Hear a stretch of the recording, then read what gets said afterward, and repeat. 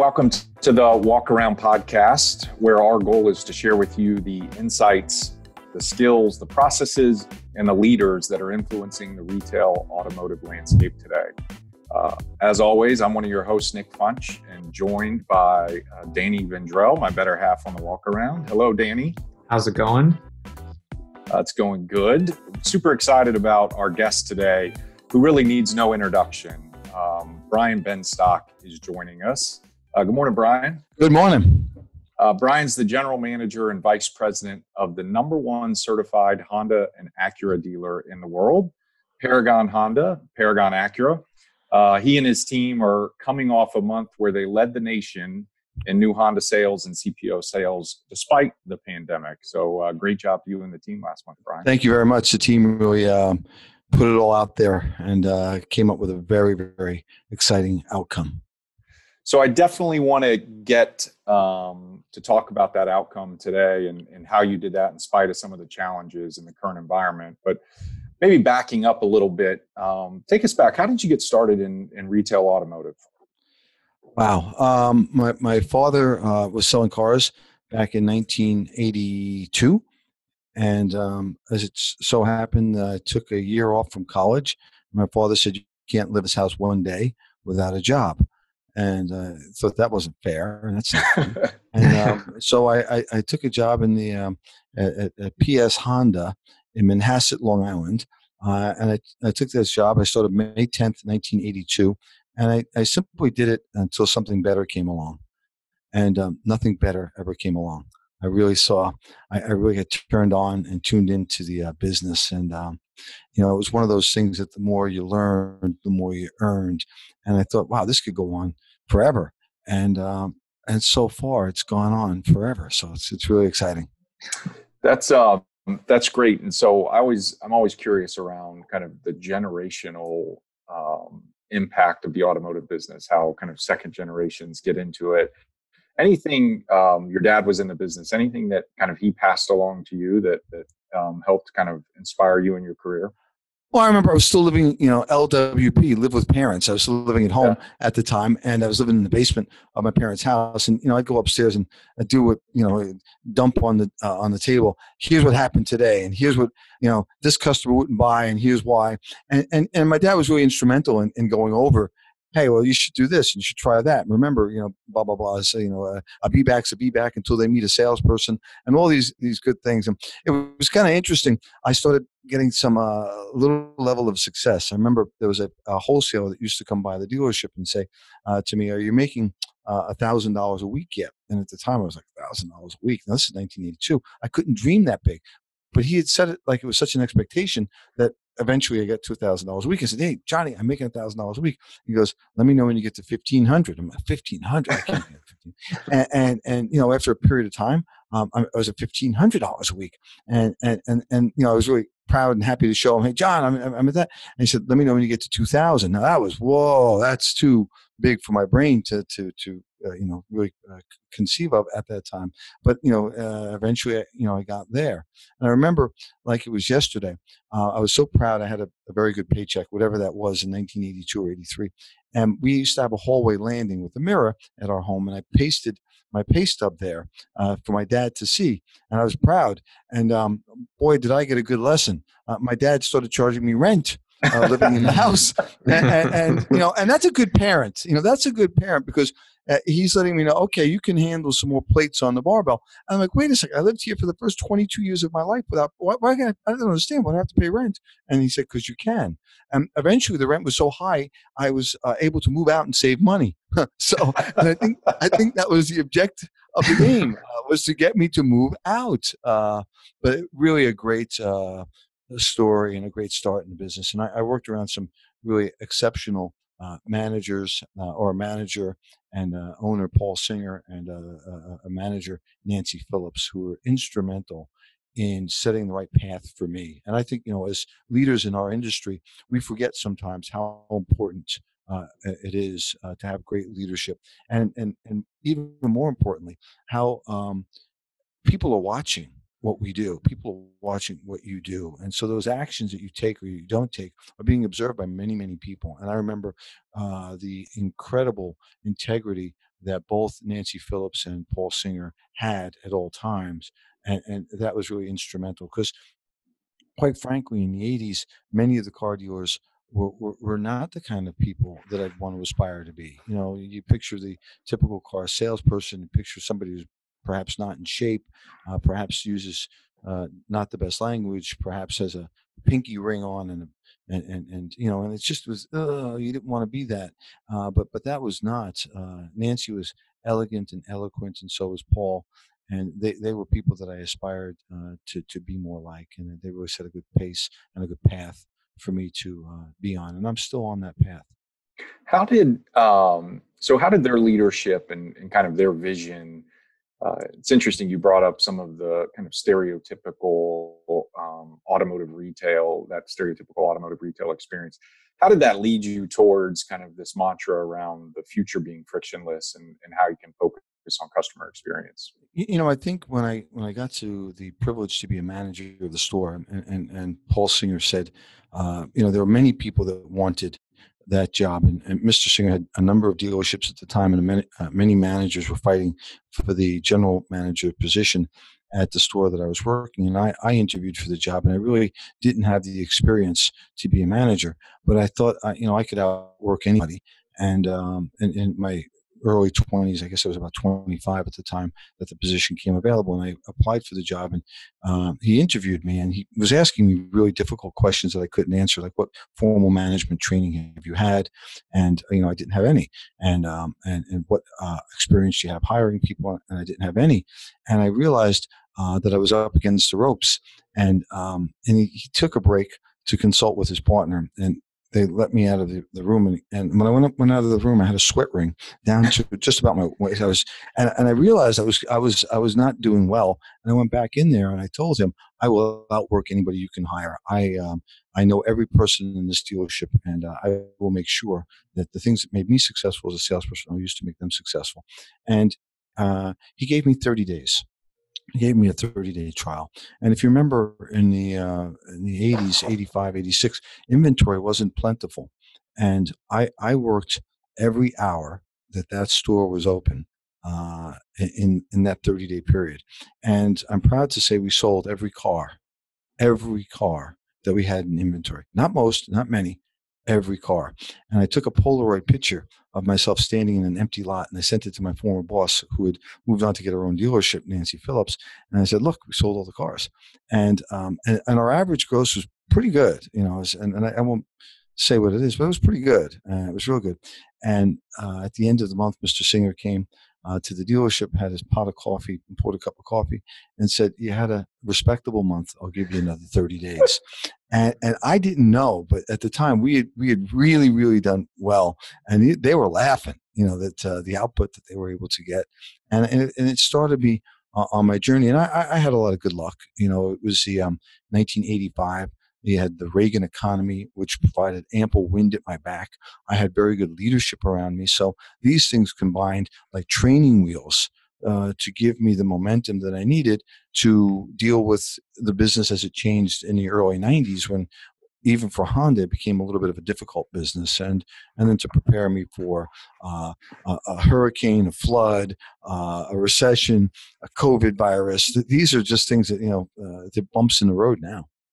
Yeah, but it's interesting. Uh, we are maybe saying the same thing, Nick, but it's interesting to hear you say that because I think that's kind of the nature of the business. Like, there's you can't put a dollar value on just good old fashioned hard work, showing up every single day, and the value that that brings. But once that clock turns over to the first of the next month, it all starts over, and we're back at square one, and it's back to to making it happen. Yeah, and, and, you know we, we you know we, we, joked about it many many years later. You know, I still got another thirty days, and you know, you said you get you get sixty now, um, but but you, know, it, I I think you have to approach every day like it's your first day on the job. You really have to have that. You know, you got to earn your spot, and, and unfortunately, uh, many of us that have been around for a while think that there's some residual there, and there there really isn't. You know, you're you're, you're a professional athlete. You've got to be out there on the court, and I, I love in that uh, that series, The Last Dance.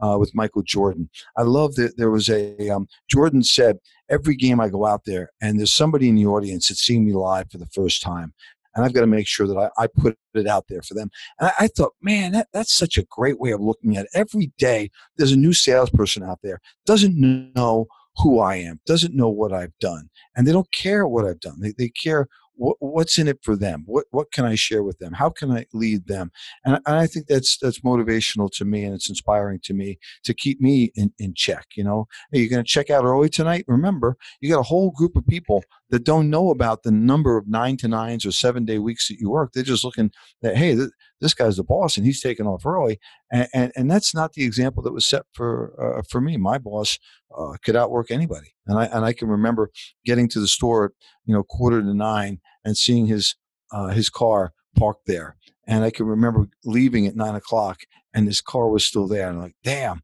and uh, here's an interesting story right? There was um uh, sometime after he passed away i was talking to uh, his his wife and i was saying you know i, I used to work every sunday uh, also and I, and I used to say uh, how could i you know tell my wife how could i stay home uh, when Mr. Singer's working. And Mrs. Singer says to me, I can't believe it. He, my husband used to say to me, how can I stay at home when the kid's there working in the store? And so, you know, so it was this, you know, the you know, gift of the Magi, you know, we're, we're, we're both putting it out there. And I, and I, I think in business, you know, Pippen needs Jordan, Jordan needs Pippen. You need to have people uh, whether their position is a higher rank or a lower rank, that inspire you. And I, am blessed to have uh, uh, a young group of people and young not necessarily in their age but young in their experience young in their their attitude towards the business and and, and that's keeps gets me turned on. I, I made a couple management changes in the store and the results have been like wicked unbelievable crazy and you know so it, it just reminds me that there's always somebody fresh that wants to come in and, and to be a deep impact player and you've got to make sure that you make room for talent all the time. And and uh, so we're going through some wonderful changes at the dealership that led us uh, last month to bring the title back to the East Coast as the number one Honda dealership in the country, and, and I think uh, in in the world last month, which is kind of fun. Yeah, that's um, definitely something to uh, hang your hat on. Um, and the the importance of team, and the other thing that the came out of the last dance that I really enjoyed was how important practice um, is and how important kind of getting prepared for those moments. Um, it just makes you that much more. Well, well Manny, Manny, Manny, Pacquiao said uh, quite accurately training hard, fight easy. You know, the, the training, the, you know, if you put in, I'm, I'm a runner, a marathon runner, and if you put in the, the time and the training, right, when it comes to the race, you know, my, my coach said the hay is in the barn. You're good. Yeah. You're good to go. And, and, and you're nervous. You know, in the first mile, it's like you've never run 10 feet, although you, you trained seven, 800 miles leading up to a marathon. And you get out there and, and you know, and all of a sudden you, you get into that gear and that gear is, you can go forever. And, you know, that's a, that's nirvana to me. And, and I think it's the same thing in business. You know, I think some of the, youngsters that uh, take over their dad's car business but didn't come up through the ranks the hard way are and do suffer because we've done this so many times. When a situation happens you don't think. It's reflex right? If i'm going to throw a baseball at your head you're not going to think what do i do? You're going to put your hand up or you're going to duck or and you know i think with what we do and in leading people, you, have got to have that skill set in your Rolodex, your mental Rolodex of what what number to call, what place, what play to to play, and I, and that, that only comes with experience. And you know, another thing that's disappeared is you know for many people, too many people, is work ethic. Uh, and, and, you know, I I still think nothing beats hard work. You can be smart, uh, but if given a choice between being smart and working hard, uh, I'd rather work hard. And if you're smart and you work hard, well, that's a pretty good combination. Yeah, it's electric for sure. Yeah. Uh, pivoting just a bit, um, talking about customer experience and and you know i've heard you talk about how important kind of that frictionless environment is what does that mean to you well uh, you, you know we're not in a frictionless environment i am uh, striving to get there and so i'm going to say it's a less friction environment and okay. uh, you know when we take a look at um, what we do and what we transact. You know, we've got this road to the sale. Everyone's got a, their own variation of it. You know, opening, investigation, selection, demonstration, verification, appraisal, close, TO, and, and there's a, there's a logical order there uh, for, for that. But uh, this was not built around the customer. This was built around our needs to be able to investigate, to find out their needs, you know, needs analysis, select, and all, all these things. And you know, uh, today those um, it's almost like the last minute of a football game. That that process has been condensed because the customers have done much of that research online. So it, we, we've got to respect that. We've got to pivot also, and that enables them to get the transactions done much more effectively. But if we're going to make them go through this archaic process, well, th- th- there's a lot of friction in there, and that friction, uh, is uh, customer dissatisfaction. In that friction is uh, time, and people don't want to waste time today. So, you know, t- to me, a frictionless environment is going to be one where we're having a conversation. I tell you what I want. The car shows up, and and you know we've basically been able to do that with service uh, and uh, with the Google Assistant with the uh, the product or process that we created with uh, with Google, where we say, "Hey, uh, Google, talk to Paragon Honda," and I can book a service appointment in about two minutes. Um, and the now somebody might say, well, that's not great. What's uh, two minutes? Well, the average appointment takes about six minutes to book, so we're, we've already cut that down by two thirds. But what's more important is I don't have to touch, I don't have to swipe. I can just use my voice to make the appointment, and then the confirmation email gets sent to me of when my appointment is. Confirmation uh, gets put on my calendar. Uh, and, and I'll get a confirmation text reminding me of when that uh, uh, appointment is. Oh, and did I mention you don't have to come to us? The car will be uh, picked up from your house. Uh, the, the, and, and, as we looked at that, what role does a consumer play in having their uh, car serviced? What role do, does their presence play? And the answer was for us, they don't need to be there at all. We need them to be there because we want to upsell them. We want to sell them more. Somehow, if they're in front of us, we think we can sell more. And, and that's just not fair to the customer. Uh, they know what they want, and uh, if they if they're let's say having a, a fifteen thousand mile service, uh, we can pick up the car and do the service. If additional work is detected uh, and, and, needs to be done, we can provide 100% transparency today with video or uh, photography to show them uh, here are your brakes. They uh, here are what new brakes look like. Here are what your brakes look like. Would you like to buy some? And and you know more often than not, if we make it convenient for the customers, they will take care of what they need to get. You know, and and, uh, and again, I'm not talking about selling services that are not necessary. Um, what, what, think of your experience at a service department. You bring your car in for an oil change. You wait 45 minutes to get written up. You get written up. You're sitting there in the lobby. You wait another 40 minutes or so for your car to get pulled inside. They pull it inside. They put it up in the air. Dealership does a good job inspecting the car, and they realize you need brakes. They're going to walk at you and say, "Mr. Smith, um, you need new brakes." Um, and, and what you, you have two questions. What are those two questions? Well, I mean, how much and why, kind of almost. Well, how much is right, and how long. Correct. Yes. Yeah. And you're not going to like either. Remember, I set the frame. You're sitting there already an hour. Yep. And they said you need brakes. So, so you can say how much and how long, and you're not going to like either answer that we give you. Um, for when we when we have the customer's car, when we've picked up the car, we've taken the time element out of it. They're still going to ask how much, and it's still going to seem more than they want to pay. But you know, you say to the customer, the car's already here, it's up in the air, it's going to be less expensive to do it now than any time in the future. And more often than not, customers say okay. So, so you're actually providing uh, multiple benefits to the consumer. Um, the other thing we started looking at more carefully is the math. And the math is 94, 95%, 96% of the time, you're not using your car. Right? We're on this call right now. None of us are using a car. If our car needed service, why not do it now and make more effective use of my time? I could get a text from the dealership that says, Mr. Benstock, your car has been picked up. Mr. Benstock, your car is ready. Mr. Benstock, your car is back on its way. And, and I just push a button and sign and it's complete convenience to me and and i'll pay extra although we're not charging extra i'll pay extra for that convenience.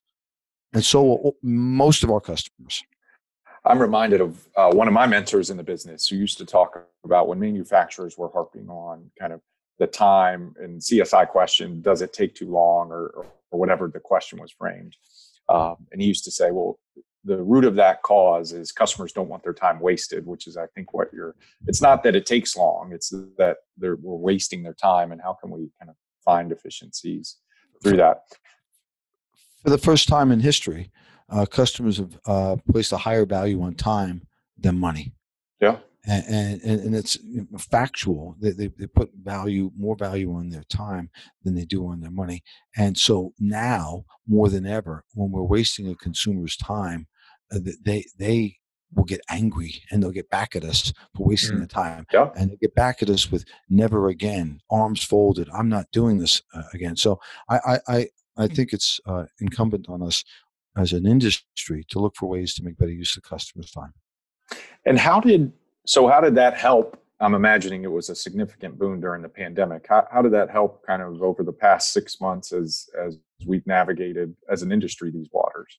Well, well, man, we were ready. Uh, you know, it, it's uh, we started doing pickup and delivery for service um, early 2017, uh, and I guess um, by the end of 2017 in August, we picked up about six 600 cars for service during the month uh, of August 2017. A year later, in August of 2018, that was 1,900 cars in the month of August. It tripled. Last year, in August, it was 3,000 customers' cars that we picked up for the month. So, you know, obviously the customers are responding, saying, hey, yeah, this works for me. And they're servicing more frequently. They're spending uh, a little bit more per transaction because uh, we're making better use of their time. And when, when COVID hit, customers did not want to go into a service department. They did not want to sit in the lobby. Uh, and so, you know, we, we, found we were able to do some pretty good business by picking up the customers' cars, servicing them. And more importantly, it laid the groundwork for us to be able to deliver cars to customers because we already had a driver's network in, in place, right? We already had a process in place where they could know, like an Uber type app, where they could see uh, the car being uh, delivered to them. They could see where the driver was. So you know you, hate when uh, you're having a delivery and they tell you the driver will be there between two and four o'clock, and the driver gets there. The driver gets there at one, and you're not ready, or the driver gets there at five, and you're, you're tweaked. Um, uh, this is gives the customer very much like an, an Uber app, uh, where they know within minutes exactly where the driver is at all times. That makes better use of the customer's time and the driver's time. So you know it works. It works mutually beneficial, which I think is always the best way. And um, in the month of April, no May, we delivered. We, the store was closed. We delivered 732 cars. Uh, without customers coming to the store. And now we lost buckets of money um, uh, and I'm not happy about that. Uh, but it really proved out that we could, at scale, deliver vehicles. And I, and, and, I, and I suggest the only reason that we didn't have a good outcome uh, financially is because that number uh, is ordinarily uh, 12, 1300 cars a month. So we were half the volume level that we ordinarily were. And we had a, a, a considerably reduced staff, you know, we, so we had all the expense and just not the, not the revenue, but it was, it was great for us uh, because now uh, the pickup and delivery for sales has been a much larger portion of our business than it was prior. Mm-hmm. And and through that process, kind of COVID forced you all, and I think a lot of dealers, to look at what can we do right now. Although it's not 1300, it's 700. What can we do right now to facilitate the 700? And then now we've got those, like we were talking about before, those sets and those reps, and we've built those muscles. We're now we're starting to open up again, and things will will come back to normal but you have a process in, a, in place and a system that will hopefully allow you to continue to be successful in that way Hey, not to plug JM&A, but um, you know we had a couple other things that we put in motion a couple years ago. I met uh, uh, one of your uh, uh wonderful uh, uh, people, Heather, and Heather and I had a conversation about two and a half years ago about, hey, how do we do this financing remote remotely? And in, in really in preparation for to be able to have a online transaction without forfeiting one of the most um, profitable portions of that transaction, which is the finance and insurance aspect of it. And we started working on that with with Heather uh, and your team about two two and a half years ago. And thank goodness for that, uh, because we we already had the uh, the pipes and the pipeline in place for us to do pickup and delivery and to handle the finance in a, a transparent uh, manner for our consumers. And, and, and, that really helped out. And I, I have to tell you, and uh, we, we have some big plans for what we're going to do uh, surrounding used cars and um, some real Carvana like stuff that's coming. Uh, where where you guys are going to play an even uh, increased uh, role and importance to the dealership as we uh, continue to be distributors of transportation. Well, I think um, you know what's nice about that is our um, I think business goals align, right? It's it's how do we kind of um, enable uh, a better transaction for the end users of the um, of the vehicle, but then also how do we um, do it in a way that's uh, profitable for the dealership as well, and um, and protect so the customer experience and the profitability and we've got a long ways to go, but I think we're we're uh, down the right path and, and certainly excited about um, what's. Yeah, I, I, I, think we're in a good place so long as we continue to focus on the end user, on the customer, and, and the second we start worrying about the dealership's profitability. Uh, with respect to building technology and, and products, I think we're in trouble. I think we, we need to be talking about what makes the experience better for the consumers. How do you want them to feel after they've done business with you? Uh, and as if we can improve upon that outcome, then I think the profitability will take care of itself. Exactly. When when you start trying to create things uh, uh, in, in, without really taking into consideration how that's going to impact the customer, uh, then I think you're, you're going down the wrong path. Because remember, we don't disrupt anything. We're not disruptors. The customers are the disruptors, and the customers disrupt with their wallet you know, they, and they vote with their wallet. And, and, and so when you've made it easier, that you get, you know, a piece of their wallet. Uh, and if you make it more difficult, you don't get that piece. And, and that customer shifting, the customers are always going to do what's in their intelligent self-interest. So we have to make sure that our options are what's in the intelligent self-interest of the consumer. And in the world great.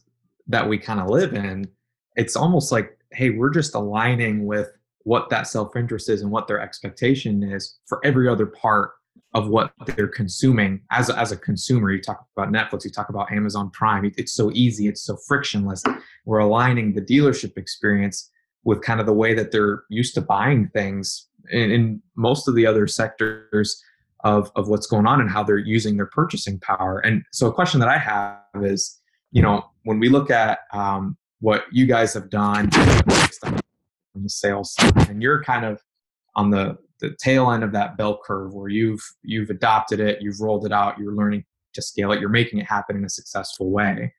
For a dealer that's an er, on the other side of that hey I don't, I don't have those processes but i understand that this is what consumers expectations are. What would your advice be to to a dealer like that as like a step one well, step one is to realize that consumer sentiment's shifting, and and and ask yourself, you know, you've got the the the, the four E's, right? Uh, e one is envision. What's your vision for your dealership?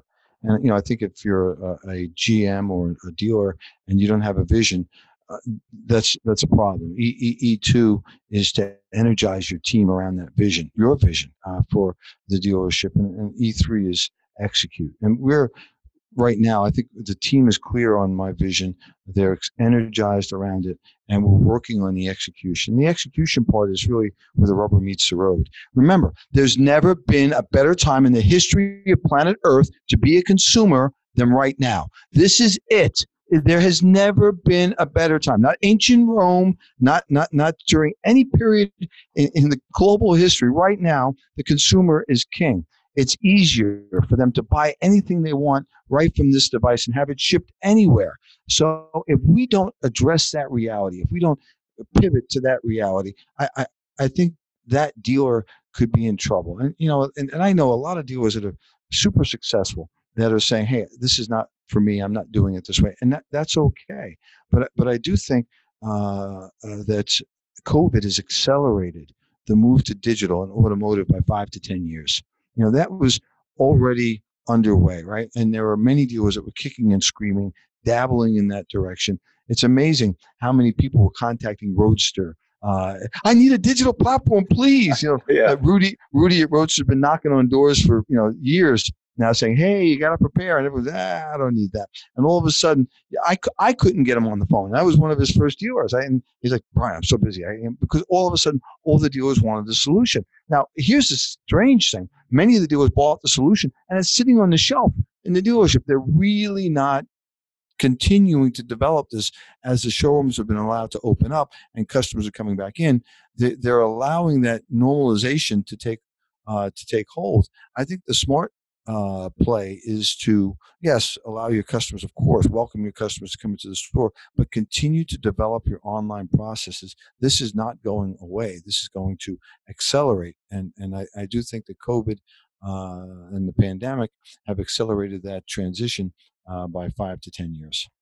It's interesting i think you started early on talking about the the road to the sale and how the road to the sale is really about us and you know that might be a good good way for us to put a bow on the conversation today where kind of meet the customers where they want to be met. And um, and make when you make it about them kind of shift that mindset a little bit it um it's it's not going to be easy but directionally i think that's where we should head so. Wherever whenever however on whatever device right? So somebody wants to use an iphone somebody wants to use a laptop somebody wants to use an ipad somebody wants to use a desktop somebody wants to use a telephone somebody you know and and so you can't bet on one against the over the other. You, have got to be flexible you know wherever whenever however on whatever device they want. And, and and so you know are you available 24 hours a day? Is your store available 24 hours you'd be shocked how many people go online and transact with paragon at one o'clock two o'clock in the morning and why not? They're sitting in bed they go yeah. boom, boom, pop, pop over the, uh, pop open the laptop and, and let me see what's here. And if you're the only game in town you win uh, so, so have you geared your store to that? We're, we're beta testing some cool uh, AI uh, where we can now pretty much do a transaction 100% uh, with um, AI and chatbots. And it, it's really interesting to walk in on any given day and have three deals already done from the night before. And, and and you just read the whole transaction, and all we have to do is okay, give me the insurance card, and let's go. And and again, um, I don't think Apple cares if you go into the Apple store and buy an iPhone or you buy it online. And isn't it? Haven't they really mastered that? Where the experience buying something online from them and buying it in the store is completely different, but completely the same. At the yeah. same, you know, it's got the same feel, right? If I'm, yep. if I'm on the uh, computer buying something from Apple or my phone or in the store, it's got the same feel. And and so uh, we're not there at all but I, I, but that's the nirvana for us to, is to get there uh, to get the look of the place, the tech of the place, uh, to be seamless, and for us to just not give a hoot uh, how they transact with us, so long as they transact with us. Yeah, I think that's um, wise words. I think we can all use. So a couple things I took out of the conversation today, uh, Brian, and thank you very much for your time. Is is number one, probably most importantly, don't underestimate the value of hard work um, you know that that can cure a lot of ails right putting the time in. And then i love the three e's as kind of a strategy around envisioning um, what your plan is energizing your team toward that plan and then um, execution. There's so. a fourth there's a fourth e. Okay. And, and, and the fourth e is exit. There and so you you know as a leader have the, the vision energize execute and then realize when it's your time to go you got to go and yeah. that's that's you know we all know sports boxing especially people that stay around too long and uh, yeah. you know th- thankfully we don't uh, what we do is not physical so you can stay around a little bit longer but but but make you make make room for the youngsters so that they can come up and uh, you can give the baton to them and and sure guide them there but you you've got to uh, you know plan the exit Brian, where can our listeners uh, find you? I know you're LinkedIn, Twitter, pretty much anywhere. There's yeah, I think so. Yeah, yeah, yeah, or, or, or brianbenstock.com. Uh, we, we, we share information uh, freely uh, because the the better the industry gets, the better we get, and uh, and so uh, I'm I'm pretty accessible and uh, an open book. I love talking to dealers. and, and doing our fair share to try and push us all in a good direction. Well, we've enjoyed uh, chatting with you on the walk around here. Danny, any uh, closing comments? No, thank you so much. It's been great to uh, just have these conversations with you, see where the industry is going, and we're, we're just gonna we're along for the ride, and we're all aligning those uh, what we're doing, to the consumer expectations, and it's a great industry to be in. So it, it sure is. Danny, good, good, good talking with you today.